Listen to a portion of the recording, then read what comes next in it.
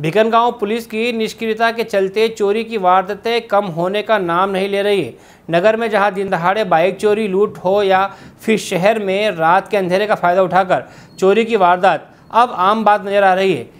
इसी के चलते लोगों में भय की स्थिति पैदा हो रही है। चोर वारदात को अंजाम देते हैं और फरार हो जाते हैं। पुलिस केस दर्ज कर रही है, लेकिन चोरों को पकड़ने में नाकाम है।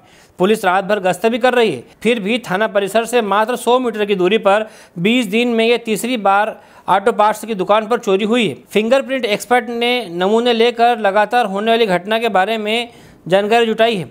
अधिक मात्रा में सामान खोने से पुलिस विभाग सकते में है। चोरी की घटना को गंभीरता से लेते हुए खरगोन से फिंगरप्रिंट एक्सपर्ट महेश गहलोत को बुलाया गया।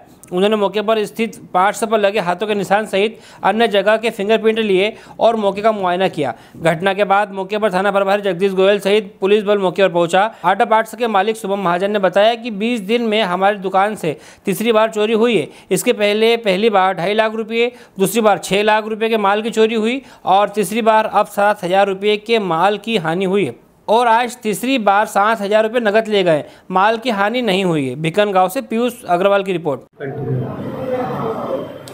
क्या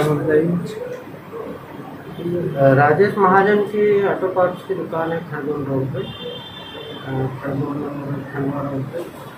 इसमें चोरी की सूचना प्राप्त हुई। है ऑटो पार्ट्स का कुछ सामान चोरी गया है। अभी क्या सामान गया है नहीं हो रहा है।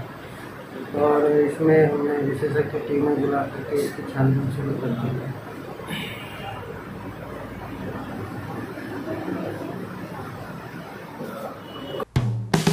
हेलो फ्रेंड्स आप देख रहे हैं हमारा channel S W twenty four news हमारे सारे वीडियो सबसे पहले देखने के लिए आप हमारे चैनल को सब्सक्राइब करें और पास में लगे बेल आइकन को दबाना बिल्कुल भी ना भूलें।